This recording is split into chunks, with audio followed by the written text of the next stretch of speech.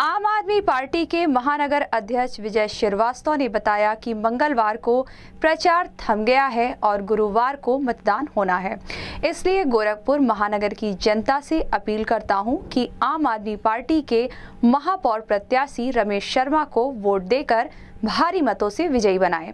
हमारे प्रत्याशी योग्य प्रत्याशी हैं। हम लोग चुनाव जीतने पर दिल्ली मॉडल लेकर आएँगे और दिल्ली की तर्ज पर महानगर का विकास करेंगे। इस संबंध में गोरखपुर न्यूज़ से बात करते हुए आम आदमी पार्टी के महानगर अध्यक्ष विजय श्रीवास्तव ने कहा। देखिए, अभी हम लोग कल शाम को प्रचार से निवृत्त हुए हैं और आज हम लोग प्रेस वार्ता के माध्यम से अपने प्रत्याशी मेयर पद के लोकप्रिय पत्रकार श्री रमेश शर्मा जी के समर्थन में गोरखपुर की जनता से, सम्मानित जनता से ये निवेदन करने के लिए आए हैं कि हमारे प्रत्याशी, योग्य प्रत्याशी हैं।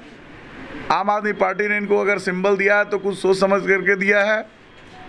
और हम लोग दिल्ली का मॉडल जो अभी तक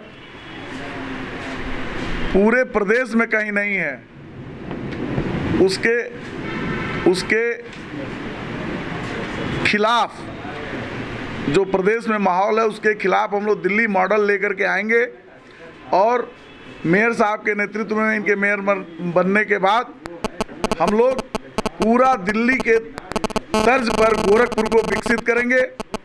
जनता से हम ये अपील करते हैं, देवतुल्य जनता से हमने, हम अपील करते हैं, आदरणीय रमेश शर्मा जी, जो कि आने वाले समय में मेयर बनने वाले हैं, इनके नेतृत्व में हम लोग और जीतने वाले पार्षदों के साथ मिल करके अच्छा काम करेंगे, हाउस टैक्स हाफ़ करेंगे, वाटर टैक्स माफ़ करेंगे, क्योंकि हमारी पार्टी का मानना है कि जल जो है, प्रकृति हमको निशुल्क देती है, इसलिए हमको जनता को भी जल निशुल्क देना है।